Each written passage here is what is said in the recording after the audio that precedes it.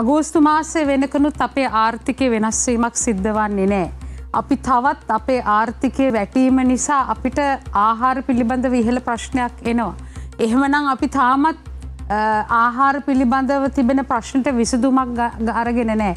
අපි දැන් හැම්ම තැනම හැම කෙනෙක්ම ඒ විසඳුම සොයන්ඩ ඕනි. හැම ඉඩමක්ම අපි වගා කරන්න ඕනේ.